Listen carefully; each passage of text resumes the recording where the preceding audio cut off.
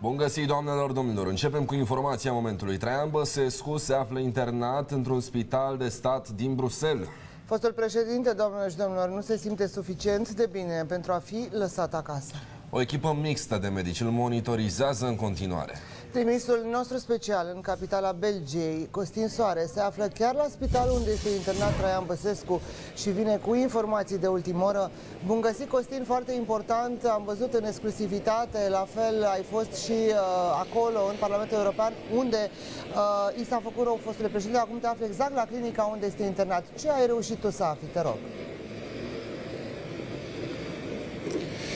Da, Laura Dragoș, bună ziua, bun găsit!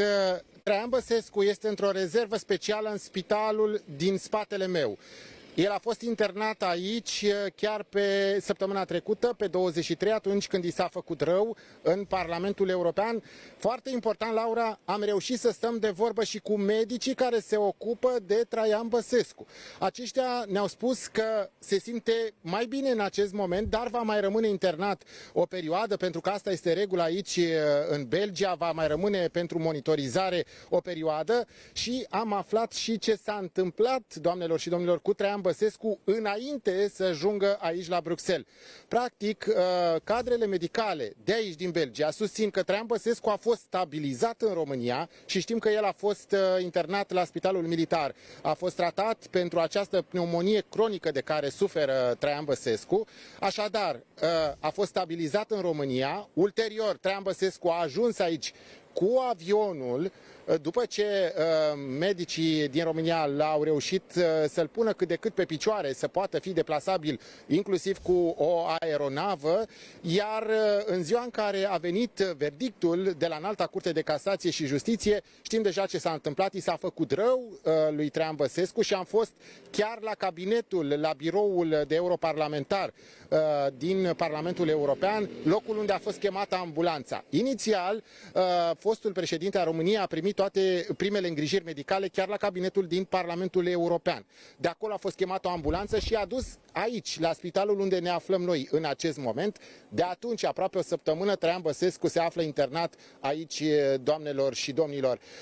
Așadar, chiar astăzi a, avut, a fost din nou evaluat, este o comisie mixtă de medici care se ocupă de uh, tratamentul și monitorizarea uh, lui Traian Băsescu. Uh, medicii de ei spun că este într-o stare stabilă, însă așa cum spunea doamnelor și domnilor, Laura Dragoș va mai rămâne o perioadă, nu știm cât timp, dar medicii spuneau că atât timp cât va fi nevoie încât să fie în afara oricărui pericol, pentru că uh, problema de care suferă Traian Băsescu este una destul de serioasă, este o problemă cronică, uh, el se trata de ani de zile pentru aceste probleme, afecțiuni pulmonare, uh, spun surse medicale și ca urmare a fumatului excesiv, uh, toate acestea s-au agravat. Ulterior știm că a avut și acele complicații uh, la inimă. Uh, Important este, doamnelor și domnilor, că am aflat, este bine, am aflat chiar de la medici, că este în afara oricărui pericol acum, dar o stare de sănătate fragilă și este chiar în această clădire din spatele meu, în aceste momente primește cele mai bune îngrijiri medicale de la medicii de la acest spital, cel mai uh, renumit spital, uh, este un spital de stat din, uh, din Belgia, dar unul cu profesioniști. Da, dacă ne auzi, uh, Costin, foarte important pentru că tu ai fost și la Parlamentul European, exact din locul în care i s-a făcut Sigur. rău fostului șef de stat. Este foarte important să înțelegem ce s-a întâmplat iar în aceste zile. Noi am încercat să confirmăm toate informațiile și avem surse foarte bune. Uh, chiar 100% ne-au dat informații despre starea de sănătate și ce s-a întâmplat în ultimele zile cu Traian Băsescu. Dar important, ce se întâmplă, iată, cu acest mister? Uh, nimeni nu a vrut să confirme, din potrivă, unii au spus că nu este chiar așa, pe de o parte și pe de altă parte. Vreau să te întreb aici la spital, spuneai că este un spital de stat. Uh, poți afla dacă, iată, că a fost șef de stat, e, ca, e tratat ca orice pacient sau este un spital de stat, acolo merg europarlamentari, există un statut anume, ce ai putut să afli în plus? Da.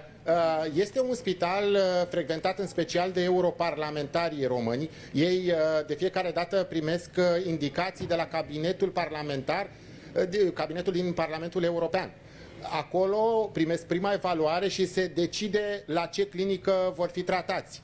Nu s-a preferat pentru Traian Băsescu o clinică privată de aici din Bruxelles, ci iată uh, o clinică uh, de stat la recomandarea medicilor de acolo și aici este încă din 23 atunci când i s-a făcut rău și a fost chemată ambulanța cu care a fost transportat direct la spitalul unde mă aflu eu acum.